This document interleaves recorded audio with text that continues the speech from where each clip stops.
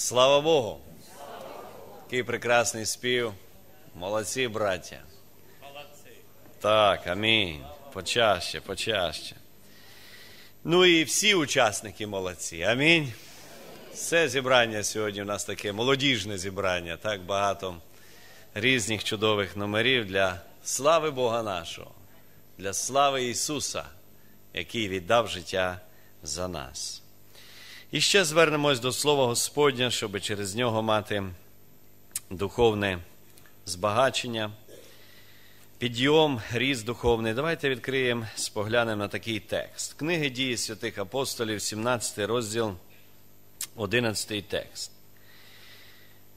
Дії 17.11. Буду читати російський текст. Здешние были благомысленнее фессалоникских. Они приняли слово со всем усердием, ежедневно разбирая Писание, точно ли это так. Коли апостол Павло свідчив про Ісуса, і він йшов по містах, по селах, країнах, то різна була реакція. По різному інформацію про Христа сприймала. Дуже по-різному. Звісно, були такі, які приймали, вірили Павлу, що це правда, приймали його проповідь. А були такі, що не приймали. Не приймали. І ось написано за одне місто так, що ці люди прийняли, прийняли, але вони не просто прийняли, а вони взялися, щоб перевірити, що Павло говорить. Вони звернулися до святого Писання, до Божої книги, і вони написано кожний день досліджували і вивчали. Те, що проповідає Павло, то правда чи ні? Він проповідає, що Ісус це той пророк, про якого пророкував Моїсей. Це правда чи ні? Якщо це цей пророк, про якого говорив Моїсей, і дуже багато інших пророків говорили про прихід Ісуса, якщо це дійсно Він, то потрібно його признати, визнати, покоритись йому і жити в покорі Ісусу Христу. Якщо ні, то ні. І вони кожний день досліджували Боже Слово. Оце, друзі дорогі, оце правильна, правильна дія людей, які хочуть життя недаремно прожити. Це правильна дія людей, які хочуть в житті не заблудитись. Це правильна дія людей, які хочуть в житті високих цілей досягти. Глибоко змістовне життя прожити. Це правильна дія людей, які хочуть, щоб і земне життя було благословенне, і загробне життя було з Богом в небі з усіма святими. Хвала Ісусу!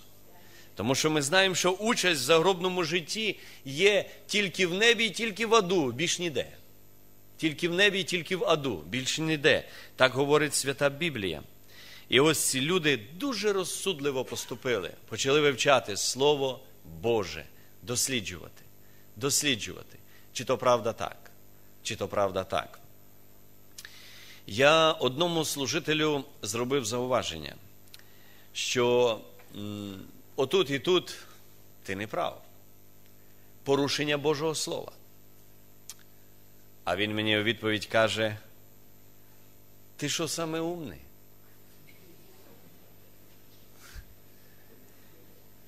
І Бонки так, і Білігрем так. Ти що саме умний? Я кажу: слухай, Ісус нам не заповідував слідувати за Бонки, за Білігремом, а за ним слідувати. Хай Бонки, хай Білігрем, хай весь світ. А якщо порушення слова, то це порушення слова і Бонки, і Білігрему. Оригінал істини святі Писання Божі. Це дає амінь. Оце є стандарт правди. І життя потрібно рівняти не на якихось світових особистостей, а життя рівняти на Ісуса. Життя рівняти на святу Євангелію, Тільки Євангелії дозволяти керувати нашим життям. Тільки Євангелія має право і авторитет поправляти нас. Тільки Христове вчення. Да і амінь. І, дорогі друзі, коли ми сьогодні дивимося на всіх, хто служить Богу, на всі церкви, всі церкви, ми можемо знайти служіння Богу, яке хоч. Від ортодоксального, такого закутого, такого грозного служіння Богу, до аж розпусного служіння Богу. Що зайдеш в церкву, то що зайшов в якусь дискотеку чи в стриптіз бар. І так служить Богу. Так, для пляски, крики, свисти, світомузика, дим, ну, дискотека настояща. І десь там улавлюєш між тими барабанами, як де перебої йдуть ім'я Ісуса, десь там звучить раз. Знаєте, що Слово Господнє каже, що навіть і демони вірують і трепещуть. Демони навіть трепещуть. Сьогодні деякі християни не трепещуть, вони балуються перед Ісусом. Яке сьогодні хочеш, можна знайти служіння Богу. Яке хочеш. Особливо, коли дядька Гугла питає, що він тобі покаже, що хочеш. Знаєте того дядька. Але вірне служіння Богу, вірне служіння Богу згідно Євангелії. Ісус, в імені Ісуса ми маємо новий завіт, сказати такою мовою світською новий договір. А в новому договірі нові умови, нові правила. І тому для нас Ісус приклад і тільки Ісус. А старого заповіту, хто на Ісуса схожий, той приклад позитивний. А хто не схожий, той приклад негативний.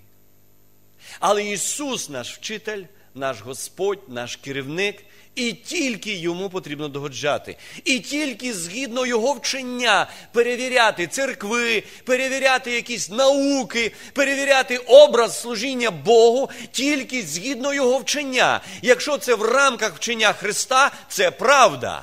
А якщо це не в рамках Євангелії, хай би яке воно не було популярне. Це не в рамках Євангелії. А все, що не в рамках Євангелії, то не угодне Богу. То не угодне Богу. Це ми маємо презирати. І старого заповіту я хочу привести яскравий приклад, який саме підтверджує цю думку, що потрібно вивчати Боже Слово і своє життя будувати тільки по слову Нового Завіту. Тільки по слову Нового Завіту, для нас Нового Завіту. Я приклад приведу Старого Завіту. Це перше Параліпомінон, 13 розділ, коли Давид, коли Давид зібрав весь Ізраїль. П'ятий текст говорить. Давид зібрав весь Ізраїль. Ви чуєте, яка то була пишнота? Весь Ізраїль. Це були десятки, десятки тисяч людей, які прийшли до Єрусалиму. В Давида була ціль перенести ковчег, ціль благородна, ціль достойна поваги. Саул не звертав уваги на ковчег. Давид збудував йому скинію і в Ізраїлі об'явив велике свято, щоби зійшовся Ізраїль перенести ковчег до Єрусалима. Приготовили нову колесницю. Я собі уявляю, як там підбирали по наказу царя колесницю. Напевно, саме кращі спеціалісти в Ізраїлі готували цю колесницю, робили, вона буде вести ковчег. Як все було так пишно, як все було так, знаєте, дуже публічно. Ось нова колесниця. Ідея теж достойна поваги. Ковчег нести в Єрусалим. Це щось грандіозне і прекрасне. Але коли вони везли ковчега, і Давид радів. Кожних шість шагів приносилися жертви хвали Богу. Кожних шість шагів жертва приносилась, жертва приносилась. Це було національного масштабу свято. І це свято терпить кризу. Коли вони везли ковчег, Оза зачіпає ковчег рукою, і тут же гнів Божий поражає Озу. Іоза вмер насмерть. Давид зупиняє всю процесію. Давид, Давид розгубився. Що це таке? Чому гнів Божий? Так, Така програма, такі номери, такі мелодії, такі такі і різні інструменти грають. Ну, А Бог в гніві, а гнів Божий палає. Боже, та, та що таке? Ми тут готовились, така жертва. Ми посвятили багато часу, багато фінансів. Це які фінанси були витрачені на це все? Яка підготовка, які пісні? Саме кращі пісні, напевно, підібрали. І, і вони думають, що Бог на небі задоволений. Вони думають, що вони Богу служать. Все так, знаєте, як з сучасною мовою сказати, передові телеканали, всі засоби масової інформації висвітлюють цю подію. Раптом трагедія, падає мертвий чоловік і падає біля ковчегу. Не десь там, з непритомнію просто так, по стану здоров'я. Біля ковчегу падає мертвий чоловік. І Давид не розуміє, що сталося. Та як? Боже, а що ти не приймаєш нашої жертви? Тобі що не угодно? Угодно перенести ковчег до Єрусалиму, вшанувати ковчег. Угодно. Господи, що таке? Та в нас, ну так сказати, мовою, та в нас таке шоу. Господи, а тобі байдуже? Тут весь Ізраїль зібрався, а тобі байдуже. Гнів Божий палає. Давид, що мені твої сотні тисяч? Давид, що мені твоя нова колісниця? Давид, що мені твої новітні псалми або старі псалми? Давид, що мені твоя одежа? Господи, а що таке? А ви закон мій нарушаєте. А ви не по слову робите. А ви нарушили слово. Ковчег потрібно нести, а не вести. Повинні нести ковчег тільки священники.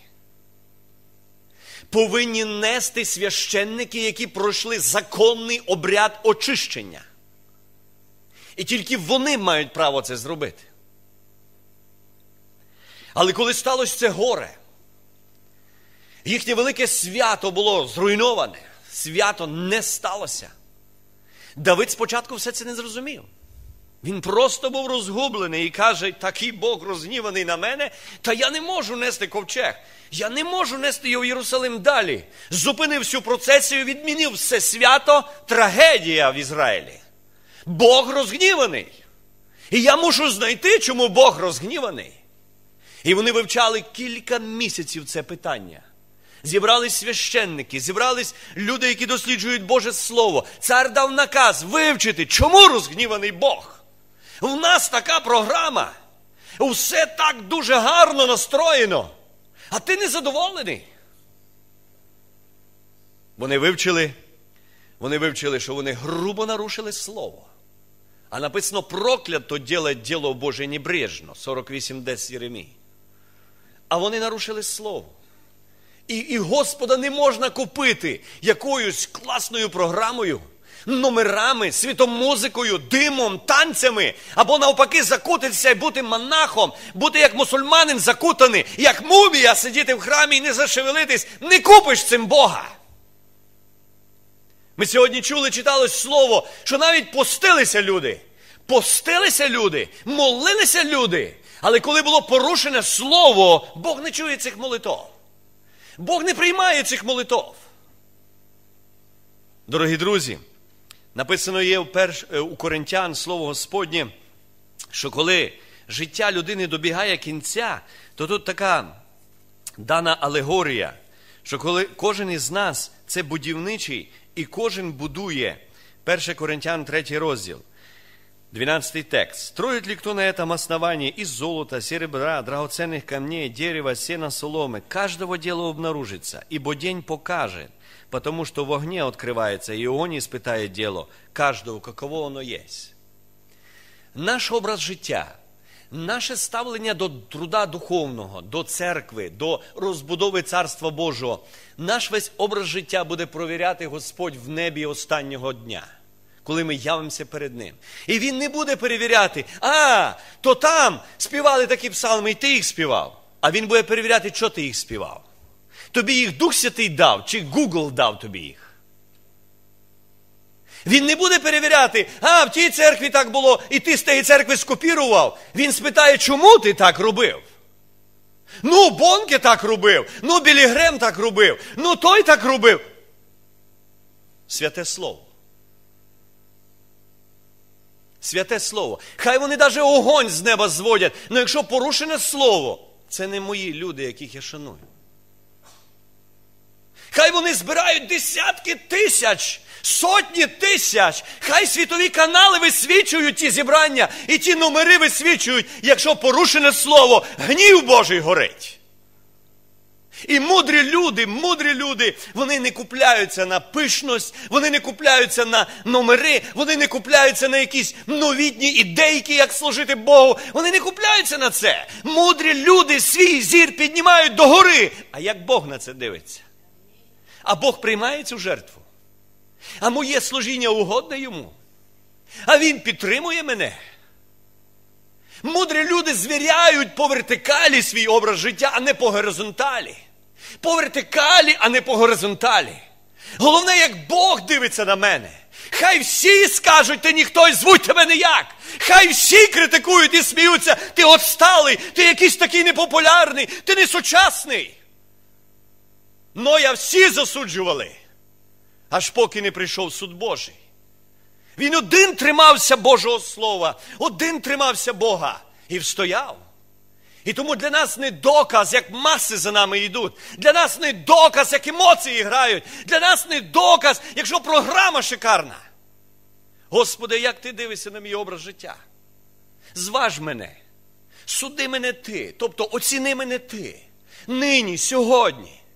І Давид мудрий чоловік, ох і мудрий чоловік. І він не купився на ту всю пишноту. Це ж маса народа, і він всіма керує. Це ж це ж так все організовано, настроєно. Це ж маса задіяна людей, фінансів, всього. Все відмінив. Все зупинив. На кілька місяців відміняється свято. Не хочу я нести ковчега, як мій Бог. Гнів горить. Я не хочу. Як я понесу ковчег до Єрусалиму, як Бог розгніваний? Мене свято велике, я весь Ізраїль зібрав, армія, служби безпеки, все працює. А він вразив озу біля ковчега. Це знак гніву його. Я не можу так. От мудрий чоловік, от прекрасний чоловік. Тому, дорогі друзі, дай нам Бог такий благословенний розум. Не дивитись на друга, не дивитись на сусіда, а що вони скажуть? Як то буває, людина покається і і атакують друзі. Ти чого в штунди пішов? Ти продав віру, ти змінив, ти наше це робиш. Критики. В п'ятницю у нас був гість, сліпий чоловік Микола, і він свідчив. Велике прохання всім, хто не був в п'ятницю, хто не був на нічній молитві. Візьміть в наших звукооператорів запис в п'ятницю гість, і він свідчив, як йому з 20 шагів вистрілили в очі, і він остався живий, але повністю зір втратив. І як він продовжив життя? Ми просто всі плакали тут, як він розказував. Тому і він каже: прийшла до нього мати і каже: Сину, ти був такий, ти був всякий, а він же сліпий і покаявся. І каже йому: ну то, що ти зараз всіх нас продав? Ти змінив віру, син, ти це гірше всього зробив. А він їй каже, мамо, якби я сліпий лежав п'яний під забором, тобі б добре було б. І мама мовчки пішла з хати. Буває, тиснуть друзі, тиснуть обставини. Буває, вимагає програма, вимагає сучасність. Ти мусиш бути таким, ти мусиш бути таким, друзі. Жива риба йде проти течії, мертва за течією. Наш головний зір має бути до Господа, Господь, як ти оцінюєш моє життя? Хай даже буде шквал критики, але я хочу бути таким, щоб ти сказав за мене, як за Давида, муж по серцю моєму. Амінь. Схилимося перед Богом.